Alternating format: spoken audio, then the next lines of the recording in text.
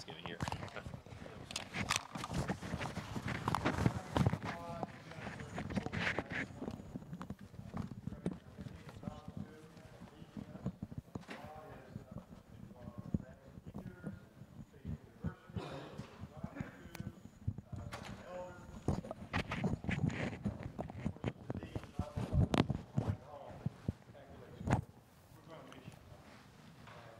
We wish you the,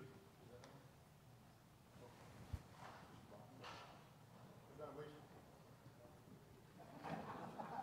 wish you the very, very best. Let's, bow our word prayer for Ian Holy Father in heaven, we're thankful to you for every blessing. We're thankful, Father, for veterans. We're thankful for their work here. We're thankful for their love, their faith, their example, all the things they've done in these past few years.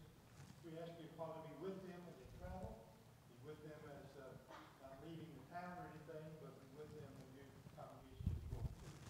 Thank you for them, Father, in Jesus' name. Amen. Since the mic's not working, I'm just going to very loudly introduce our speaker tonight. We're very thankful to have Stan Butt with us from the Peachtree City Church of Christ in Peachtree City, Georgia. You know he's a good guy because he's from the state of Georgia. Uh, He's got to, got to be a good guy. He's been working in ministry since 1996. He has been at Peachtree City since 2017. He's the author of several books. He's produced a lot of videos and articles. He graduated from Lipscomb University. Thank you very much. He graduated from Lipscomb University, and he is currently working on his PhD in humanities here at Faulkner. He is married to Georgia Harmon Butt, and they have two daughters, Emma and Grace Ann, who are both biology majors at Freed Hardeman University. And it says here, in his free time, he likes to read, play cards, and hunt. And Stan, we are very thankful that you're here with us tonight.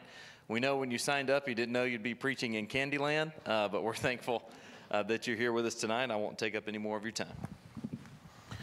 Well, I've played Candyland a million times, uh, from the time that I could play it to the time that I played with little girls who are a little older than that right now. Um, I should have updated my bio. I know that was pulled off the pulled off the church website. But uh, my two daughters now are 26 and 24. And One of them lives in Huntsville, and uh, one of them lives in Memphis and in dental school. And they are both married.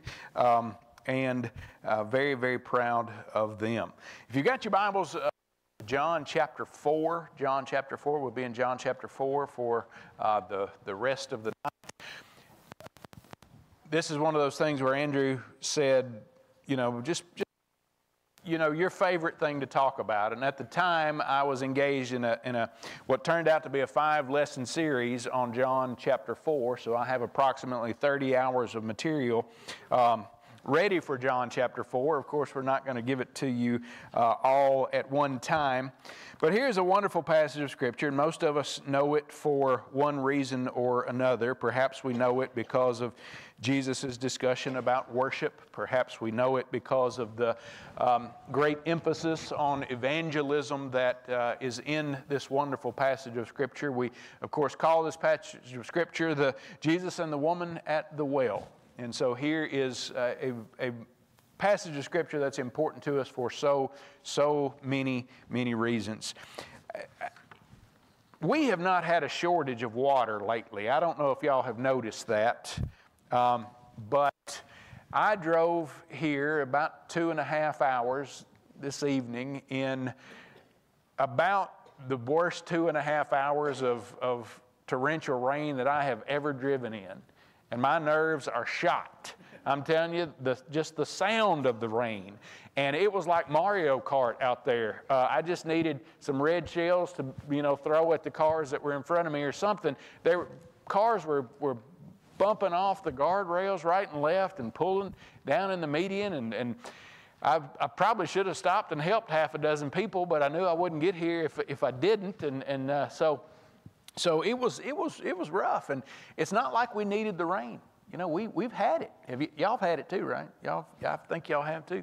Uh, so, so we are uh, not uh, folks who generally lack water. Now, every couple years we'll have a couple dry, couple months, and, and honestly, we had several weeks where you know the yards were looking pretty dry and we needed some water. You better be careful about asking for water, right? Because because you know what happens then. Or or you better be careful about asking for it to stop raining because you know what happens then. You have to be careful. Uh, what you ask for because often you get exactly exactly that.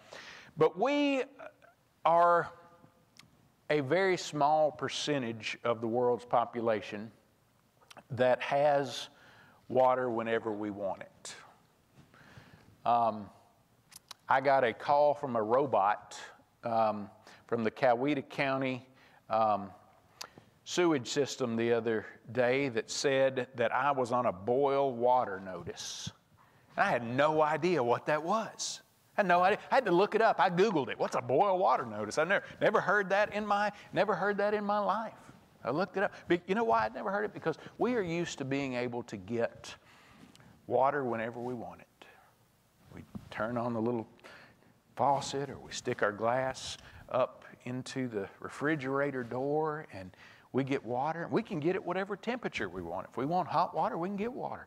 We want cold water, we can get it cold. And we can put ice in it, which is also made of water. And so the idea of being without water is something that we don't deal with on a regular basis. Maybe some of you have been in the mission field. I suspect in a, in a group this size, some of you have been places where the first thing that they said to you is, don't drink the water. Don't drink the water. You can't, you know, there's, there's stuff in it that will mess you up.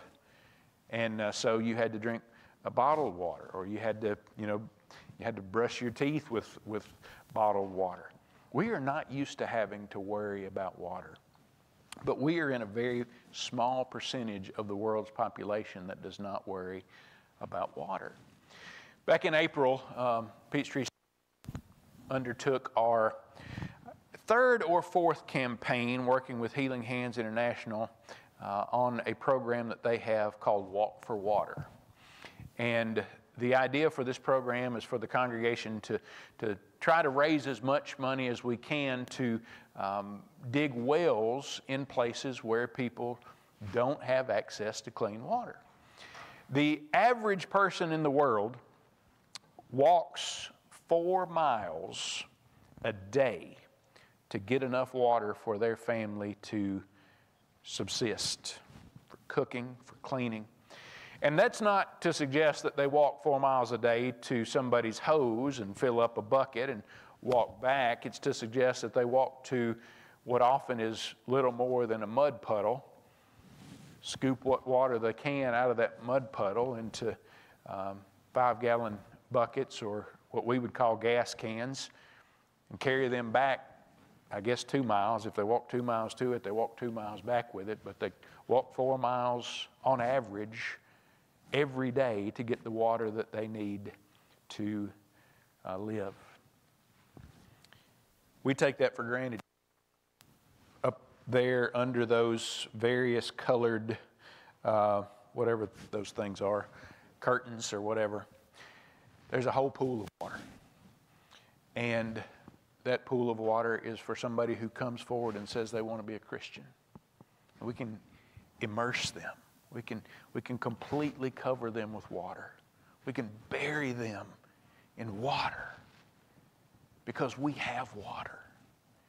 I want you to imagine what it would be like where, where you wanted to become a Christian and, and, and they said, How are we going to baptize you? How are you going we, we don't have the water for it. And so everybody goes out and they gather water up and they get all the water they can. It's just barely enough, but it is enough to get you under that water. And it's not clean water. I mean, I've, I've been in, uh, maybe, you've, maybe you've been there. Uh, and maybe you've seen somebody who was, who was baptized and uh, the baptistry heater was not working. I don't know what it is about baptistry heaters and wireless microphones, but the things just seem to never work when you need them to. But I've, I've been with people who were being baptized. Oh, it's just so cold in here. Or, oh, there's a bug. You know, we got to get the bug. When the rest of the world is baptized in water that you can't see the bottom of because of the dirt and filth of it. I've been in a mission field in India where, where um, somebody walked out into what was a cattle pasture, a pond in the middle of a cattle pasture, and there's four or five guys around the, uh, the person who's being baptized, and they've all got sticks. Said, Well, what are those guys doing out there with sticks? And they said, Well, they're keeping the snakes off. And, and here we are, failing to recognize the blessing that we have of water. Now, this passage that we're going to look at tonight is about water. It's about the living water that gives eternal life. It's about the living water that quenches the greatest thirst that we have. Let's read it. John chapter 4, beginning in verse 1.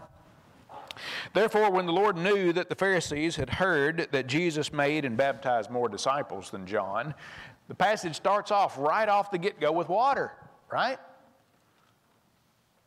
They'd heard that Jesus was baptizing more disciples than John. What's baptizing? It's putting people into water. It's not pouring a little water over their head. We know that. John also tells us that, that uh, John was baptizing at Aenon because there was much water there. You know why you baptize somebody where there's much water? Because it takes more than a little drop. Because it takes more than a little They got to be immersed, buried in it. So this whole passage starts off with this idea of water. And the Lord heard that the Pharisees had, and notice that it says the Lord. The Lord heard that the Pharisees had heard that Jesus made and baptized more disciples than John. Now watch this. Though Jesus himself did not baptize, but his disciples. And that's a parenthetical, but it's a very, very important parenthetical, right?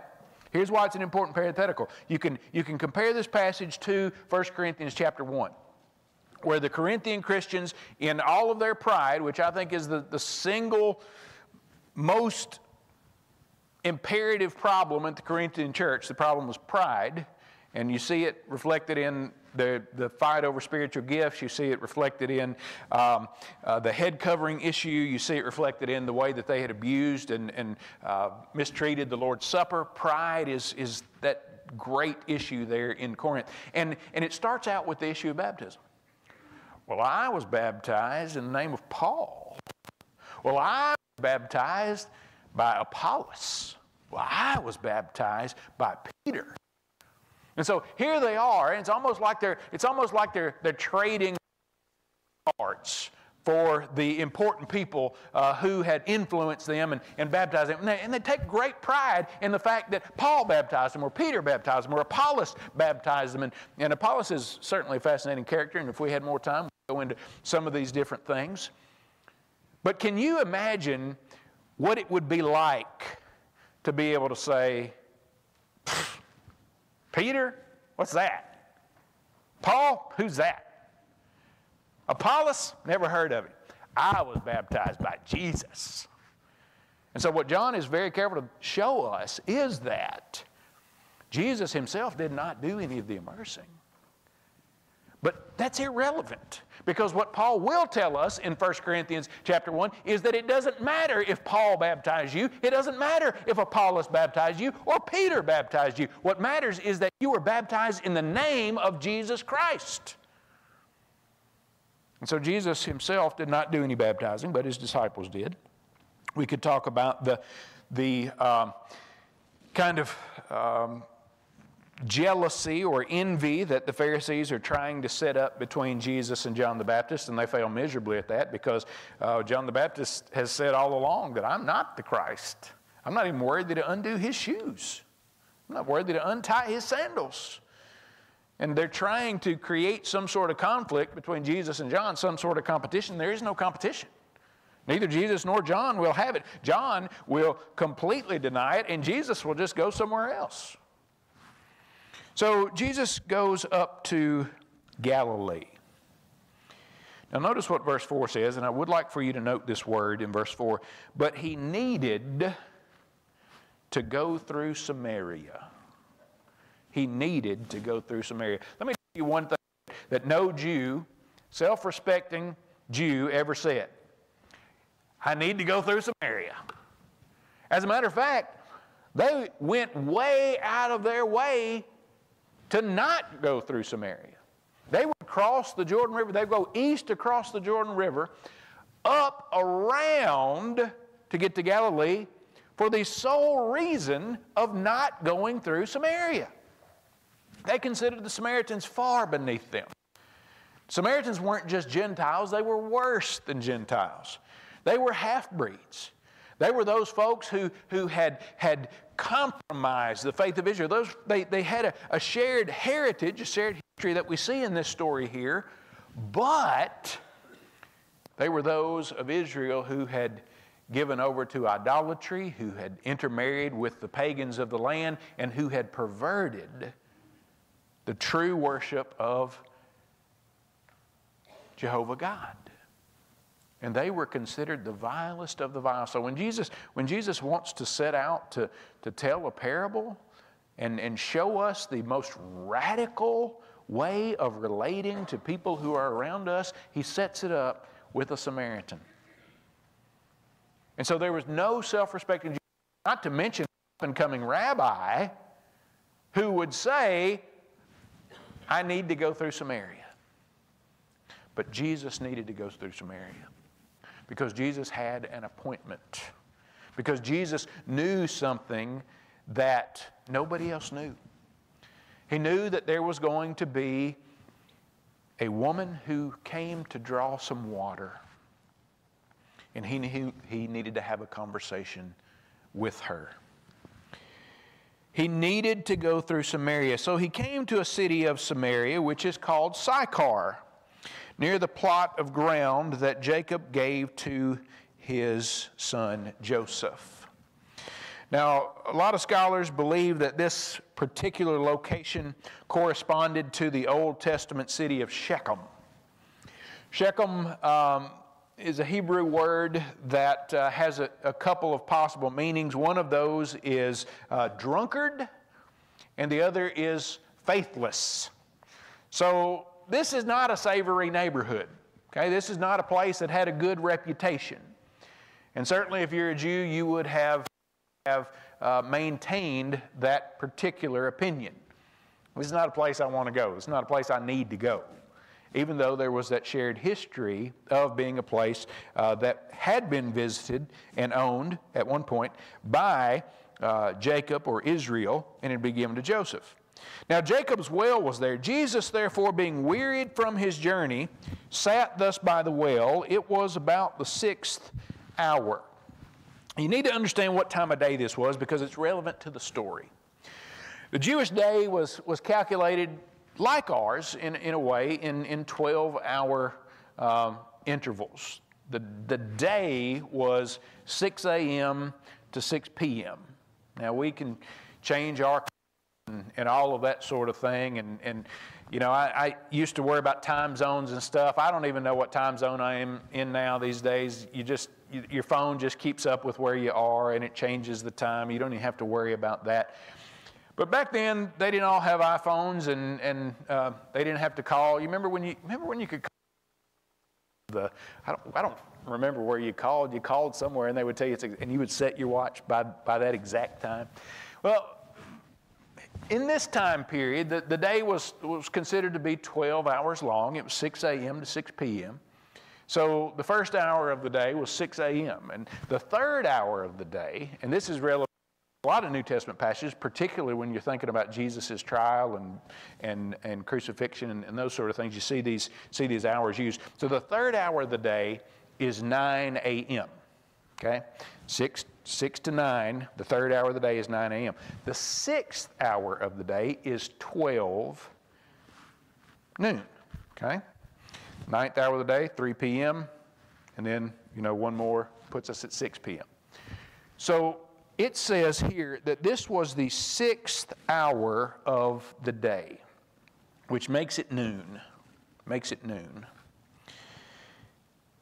Now, when I was growing up, we raised um, Brahma cattle. We'd go down to Florida and buy them, and sometimes go to Texas and buy them. There weren't many of them in Tennessee at the time, so you had to go out of state. You had to go to hot states to get them because that's the only place that had Brahma cattle. They're the ones with the big humps, dewlap, and the gear ears and all that sort of stuff. And um, so we raised these cattle. And one of my chores growing up was we had show cattle. And one of my chores growing up was to water. And sometimes the water was way away from the, from the cows. And so I would, and I remember this being six, seven, eight years old, and I'd have two five gallon buckets. A five gallon bucket of water weighs 40 pounds. And I remember filling those buckets up, six, seven, and eight years old. And um, I remember trying to carry those things to fill those troughs up to um, water these cattle. And the, there, there were several really, really frustrating things that would happen when you were doing that. One of those things is that uh, if you're a little boy, you're six, seven years old, and you're wearing shorts and a pair of cowboy boots, then uh, you end up with more water in your boots than you do in the bucket by the time that you get to the trough, every time. Um, then, when you get there and the trough is empty, and you feel what water you got up, and, and you would think, well, why would you carry two? Well, because it's a whole lot easier to carry two than one, believe it or not, because you balance yourself out. If you ever try to carry six, seven year old kid, uh, one, buck, one bucket of water on one side, you, you, you just can't do it. So you balance it out. You know, you take little steps, you spill half of it in your boots, and you get to the, you get to the trough. Pour it in there, and you know what that, you know what that bull calf does as soon as you pour it in there? He drinks every bit of it, right up. Just drinks it right up before you, before you can even get it full. He drinks it as fast as you can put it in there. So guess what? You got to do? You got to go back. You got to fill it up. And I'll tell you that to tell you that getting water is hard work. Getting water is hard work. It's hard, hot work. It's hard, frustrating work. Um, whether this woman was was carrying pots, whether she had a yoke that she would put across her shoulders and carry it that way, whether she would carry it in a large pot on her head, we don't know, but that's the way people carry it around the world even today. But you know when you don't want to carry water? 12 noon. That's when you don't want to carry water. It's hot. It's hot 12 noon in, in the Middle East. It's, it's really hot. So, why is she out at 12 noon carrying water. Because let me tell you about what um, was going on this time uh, culturally and historically. And that is that uh, every morning, and it still, it still happens, it still happens across the globe today, around the world today. Every morning, the first chore of a woman's day was generally to go draw water. Because they would need that water for their work for the day whether they had things to wash or whether they had cooking to do or whether they had bathing uh, to do, take care of their families, they had to have water to do all of those things.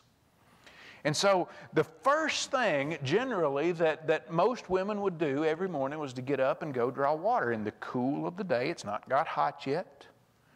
And not only that, the, the rest of the family is not necessarily up yet. They get up early, go out, get their, get their pots, you know, whether they're doing this or they're this. They, they go out, and guess what? It was a, it was a grand time for socializing. You, everybody in the village. There, you know, there's a suggestion here that this is a considerable distance from, from the village, that, that maybe it's a mile from, from the village or half a mile from the village. And so you, you would get together with your friends and you would have this morning stroll where you'd go out and you'd ask about the kids, you'd ask about the family, you'd say, What do you got going today? Where are you going this weekend? You know, you, you, it's just a, just a time of socializing. And the whole village would go out, and sometimes the little ones would go along, and they'd be playing, they'd be running around. The women are, you know, talking to each other and having this, this good time of socializing before they started their, their hard work of the day. And that was just in the cool of the morning, and it was very common, still very common uh, practice right now. So, what's this woman doing out here alone, high noon? Going to fetch 40 to 80 pounds of water? Well, it's because she doesn't want to have anything to do with anybody else. It's because she's been marginalized. It's because nobody wants to have anything to do with her. It's because anytime there's a crowd, then guess what they're doing? They are saying, they're pointing at her. And even if they're not, I don't know if you've ever experienced this before, but even if they are not, which I expect they are, she feels like they are. We're going to talk about her situation in a moment, but, but I don't want you to miss this fact that she's out here drawing water at noon. And I think she has one reason for doing that. And I think the one reason that she has for drawing water at noon is because she doesn't expect to find anybody at that well, and she doesn't want to find anybody at that well. But she does. She finds Jesus. A woman of Samaria came to draw water, and Jesus said to her, Give me a drink for his disciples had gone away into the city to buy food.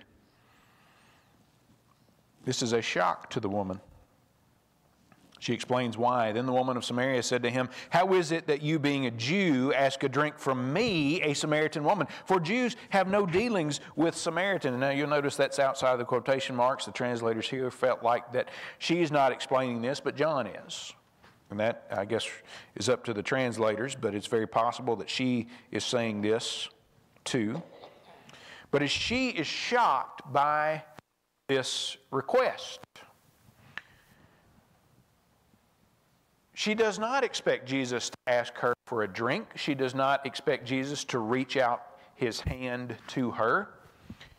She does not expect Jesus to be willing to take the vessel that she has Remember how much trouble Jesus had about how cups and plates and things were washed if they had been ritually cleansed and all of this stuff that the Pharisees worried about. And, and this, is, this is unheard of. It is, it is revolutionary for a Jew to ask a Samaritan woman whom he doesn't know to give him a drink of water. It's, it's revolutionary. And, and I cannot emphasize that enough. We're going to see we're going to see what Jesus accomplishes not just with this woman, but also with the village from which she comes. As a matter of fact, I think we're going to see this woman converted. I think we're going to see this entire village become believers in Jesus Christ as the Messiah. And that's important, it's significant. But I want to tell you, it starts before Jesus says, God is a spirit, and those who worship him must worship him in spirit and truth. It starts before Jesus said, You have said true. You've had five husbands. The man you're living with now is not your husband. It starts before that miracle. It starts before that teaching. It starts before she runs off to town to bring everybody back. It starts when Jesus is willing to reach out his hand and touch somebody who never expected to be touched, who never expected to be asked for a drink of water.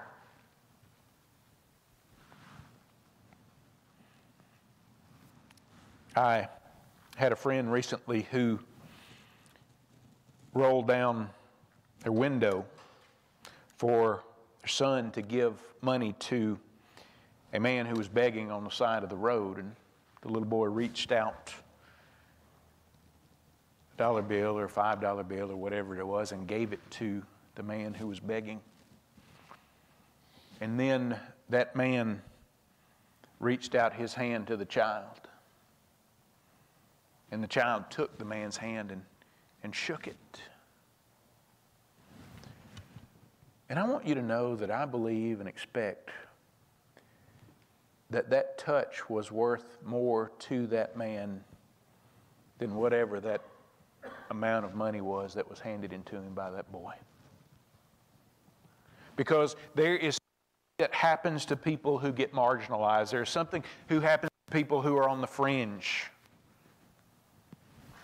I was in Vietnam several years ago now, and was one of the places that I've ever been where folks were the hungriest for the word that I've ever seen. We had rented a couple hotel rooms, and over the course of several days, folks came in from provinces all around to the big city we were in, Ho Chi Minh City. And they would sit as long as you would sit with them and ask Bible questions. Questions that we take for granted. What's a deacon? What about speaking in tongues? What about food that's sacrificed to idols? Now, if I stand up here tonight and speak to you about food that's sacrificed to idols, it's a hobby horse. Although there are really some really, really important principles in that teaching. But we're not dealing with food that's sacrificed to idols. But they were. It was, a, it was a meaningful question to them. It was an important question to them. And they would sit for hours and hours, 8 to 10, 12 hours a day, just asking questions, asking questions over and over again. At one point, and, and now these folks have come in from, like I said, from provinces, and there were some folks there who were clearly sick. There were some folks there who uh, had pretty severe physical challenges, disabilities, handicaps, retardations. And at one point during one of those days, somebody gets out a thermos and one mug,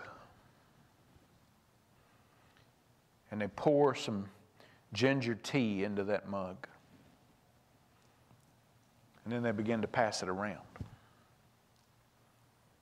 And as it goes from hand to hand around that hotel room, everybody takes it and they just refresh themselves with it. They just get some, just like we would drink coffee or ginger tea. I don't know, if you've ever had ginger tea before, but it's, it's stout and it will wake you up. Um, so it's going around the room and it's coming toward me. And I'm thinking, oh man, what in the world am I going to do? What in the world am I going to do? I don't know what these folks got. I don't know, you know, where they've come from. I, I don't know. What am I going to do when that teacup gets to me? And they would refill it from the thing as it went around. And I prayed right there, as I always do. Lord, I'm going to drink this. Uh, take care of me. And it came around, and I drank it, passed it to the next person. I didn't get sick. I didn't die. Might have. I guess that'd have been a pretty good way to go. Probably as good a way to go as any. And I did pray about it. And that wasn't the Lord's Supper. It wasn't the Lord's Supper in any, in any way. But it was communion. And I noticed that when that cup came to me, every eye in that room, every Vietnamese eye in that room was on me. What are you going to do? Are you going to share with us? Are you going to commune with us? Are you going to take with us? Or are you distant from us? Have you marginalized us? Are you better than us? Jesus, the Son of God, was never that. As much as he was. I love in the opening chapters of Mark leprous man comes to Jesus. And the leprous man runs and he falls down before Jesus. And he says, Lord, if you are willing, you can make me clean. Now, that passage is, is a brilliant, wonderful passage because it says, And Jesus, being moved with compassion, that, that word that's translated being moved with compassion is my favorite Greek word in the New Testament. The word is splanchnizomai. Okay? Some of you might be able to spell that. I probably can't. No, I probably can't. But splanchnizomai, here's, here's the word. The Greeks considered different levels of your organs, okay? You had your viscera, which basically from here down, your lower organs. Your middle organs, right here, are called your splanchna. Your splanchna. Several times, um, this word, splanchnizomai, or splanchna, is translated bowels in the New Testament. In Philippians chapter 2, if there be any, your newer translations say consolation. Your older translations say if there be any bowels of mercy. If you come across a King James and you wonder what it's saying there, that's the word for compassion. You, these, these organs right here. John uses it when he describes uh, compassion. Jesus was moved according to his guts. He was moved right here for this man. And Jesus being moved with compassion, listen, listen to what it says. And Jesus being moved with compassion reached out his hand and touched him and said, I am willing, be clean. Now think about this for just a minute. Look, you know, you know Mark is the short gospel we have, 16 chapters. Mark never wastes his words. Mark says everything he can as concisely as possible. So when Mark gives you a parenthetical, then you better pay attention to it. And so here's the parenthetical. And he said, If you are willing, you can make clean. And Jesus reached out his hand and touched him and said, I'm willing to be clean. We can read right over that. We can read right over the phrase, and Jesus reached out his hand and touched him. You know, Jesus never had to touch anybody to heal them. You know that. You know that people would come to Jesus from 60 miles away and say, My son is dying. My servant is dying. He'd say, Go on back. They will. You remember when Jesus is in the synagogue on the Sabbath, and the man is there with the withered hand, and all the Pharisees are looking at him to see if he's going to heal them. You know, what is he going to do? And Jesus says, Reach out your hand. And he reached out his hand and it's whole. What did Jesus do? Nothing. He just declared it. He could have just declared, I am willing to be clean. But he didn't.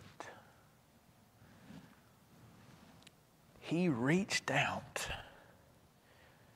to touch a person that nobody else would touch. You know a little about leprosy. I know you do. I know you've heard sermons about it. I know that you know that it's the living death. I know that you know that, that a, a leper during this time had to go around calling out unclean, unclean wherever they went. Audience like this, I expect some of you have seen Ben Hur. Any of you seen Ben Hur? Good old movie, Ben Hur. I don't know, won 15 Oscars or something. Greatest movies ever made. You remember when Judah's mother and sister become lepers, and he wants to get them to see Jesus. And when they're in the crowd and somebody realizes that they're lepers, what do they begin to do? They start pelting them with rocks. Because somebody that came a leper was inhuman. The finger of God. You know why it was called the finger of God? Because it was obvious that you had obviously done something terrible to deserve this punishment. You're obviously being punished. And there, and there were times when, when people in the Old Testament were punished with leprosy. Remember, Miriam was punished with leprosy. Um, Gehazi, the, the prophet's servant, is punished with leprosy. Um, is it uh, Eli's folks, his descendants are punished with leprosy? So there are many times in Scripture where leprosy was a punishment. Well, you put two and two together. If you're a leper, you've obviously done something really, really bad, and God's punishing you for it. So not only was it a physical disease that, that marginalized you and, and put you outside of any kind of society, you off from your family, shut you off from your friends, shut you off from the congregation of Israel. But it's a spiritual problem too. You obviously did something terrible. So when this man runs to Jesus and he says, If you're willing, you can make me clean. And it says, and Jesus reached out his hand and touched him. That reaching out and touching him is significant. Let me give you another example. And Jesus said here with this woman in a way. We're going to get to her. But in Acts, you don't believe me? We're going to get there eventually. We're going to get there. All right. Um, in, in Acts chapter 4, Peter and John go up to the temple. Let me check my watch, by the way. All right. Got time? All right. Peter and John go up to the temple. And there's a man there who's crippled. And he's begging. He's doing it like most people do. He's, you know, makes a fairly decent living doing this. He looks pitiful. There he is. He on a, probably a rug or a blanket or something. He's got a little cup. Maybe he's saying alms for the poor. Maybe he's saying God bless. Whatever, you know, he knows the drill. Everybody goes by. They chuck a little, chuck a little money in there. And at the end of the day, he counts it up. He's got enough to get by on. Somebody brings him back the next day. Peter and John go up to the temple. It was about the hour of prayer. And Peter stops and he says, Look at me. See, this is a whole different deal because we don't like to make eye contact with people who are asking us for money, and they don't like to make eye contact with us.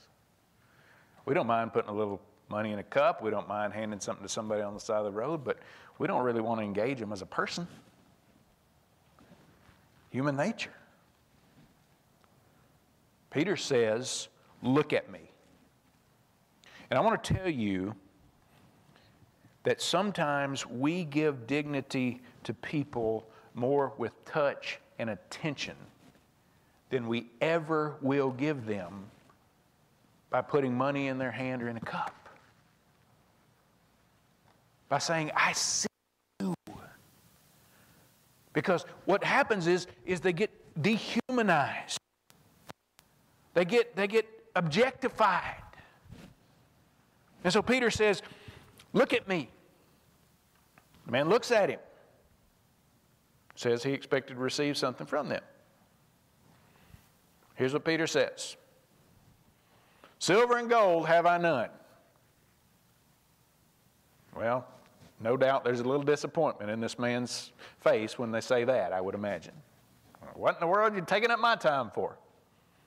But such as I have, I give you. In the name of Jesus, rise up and walk. And he does. Now let me develop that just a second. You are not Jesus. You are not Peter and John. You can't tell a crippled person to get up and walk. You can't cleanse a leper. But you can have the same attitude that is compassionate enough to see a human being in front of you and say, I'll give you what I got. What I can do for you, I will. Not because I feel guilty, not because, but because you are a human being made in the image of God. And you can preach John chapter 4 and you can go through it, and I've done it, spent three Sundays in a row teaching John chapter 4 as an evangelistic model. But no evangelistic model is worth anything if we don't see in front of us a person, if we don't see in front of us a, a image bearer who God loves as much as he loves anybody in this room. Every real conversion starts when Christians show people that that person matters. And you cannot tell somebody that they matter to God I'm going to write this one down. I've never said it, but this is a good one. You cannot tell somebody that they matter to God if they don't matter to you. And so the conversion of this entire village begins with Jesus saying, Give me a drink, and being willing to take it from her hand. We've got three minutes.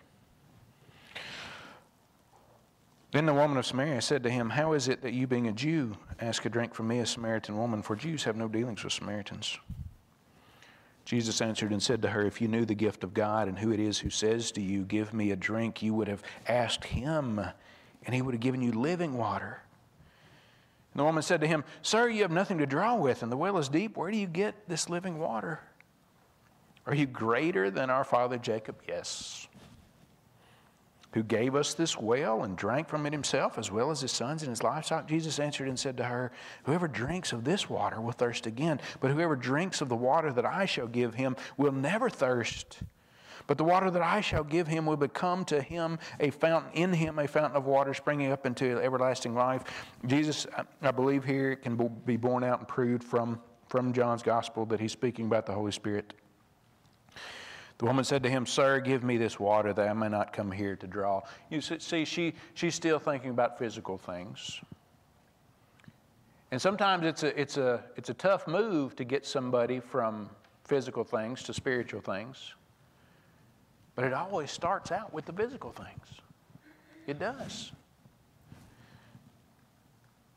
They have to know that you love them. Have to know that you care. Have to know that you see them and attend them. Give them attention. The woman said, Sir, give me this water that I may come here, not come here to draw. Go call your husband and come here. And the woman answered and said, I have no husband. And Jesus said to her, You have well said, I have no husband. For you've had five husbands, and the one whom you now have is not your husband. In that you spoke truly. Let me tell you something about this. What have you ever thought about this woman? Just, I'll just give you just a, I mean, what's her story? Five husbands. What happened to him? My daughter is getting her uh, MFA in creative writing right now, and I said, Emma, why don't you write a story about this, this woman's five husbands? Maybe she married an older man when she was 13 or 14 years old, and he died. Maybe after that, she married another one who died. You know, but, but our tendency is to think that, that she was just a, just a, a loose woman and nobody, you know. But here, here's the deal if, if you marry five husbands and five of them die, you know why you're not married to the sixth one? He doesn't think his odds are very good. Not to mention the fact that everything bad that happened to anybody was considered an act of God. Maybe she's barren. Maybe, maybe what she wants more than anything in the world is to have a child. And every husband that she's had have put her away because she's barren.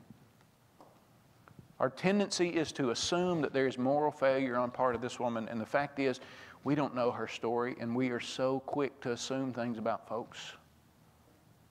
I'm going to tell you that this is the last person in. If, if you wrote this, if you went to into Sychar and said, "Okay, folks, um, Let's write down the last person who is likely to find the Messiah uh, today. You know whose name they're going to write down? Her name? You know what we do so often? Well, they wouldn't, they wouldn't want to hear about Jesus. You know, they wouldn't want to do that. We, we, don't, we look for people who have almost got it all together. That's never who Jesus looked for. It's never who Jesus looked for. It, generally speaking, it wasn't the people who came to Jesus. Sometimes it was. Nicodemus, Lazarus. Um, sometimes it was the folks who had it together, but most often it wasn't. And that was a great criticism of Jesus, that Jesus was interested in people who didn't have it together. Ah, this story goes on, and there's so much more to it, but listen, we're out of time. And if I can leave you with one thing right now, it's, it's one, be careful what you assume about people's willingness to hear about Jesus. And two, don't ever tell anybody how much God loves them if you can't show them how much you love them. Let's pray. Father in heaven, we're so thankful for your Son, Jesus. We're so thankful for the living water that we can have because of His promise, because of His sacrifice. We're so thankful that He reaches us in our brokenness, in our flaws, that He loves us and cares for us. Father, we beg you to forgive us of our sins and are thankful that you want to do that through His blood. We also pray that you will give us the wisdom and the compassion to see those around us who are marginalized, who have fallen through the cracks, who are broken, who are left behind, and have your heart to see in them your image and ask for a drink of water so we can bring them to the living water. In our Savior's name we pray. Amen. Before you leave, I've been asked to tell you one thing, not about water, but about ice cream. At eight o'clock, when the kids are dismissed, there's ice cream in the fellowship hall, and they said there's plenty for everybody.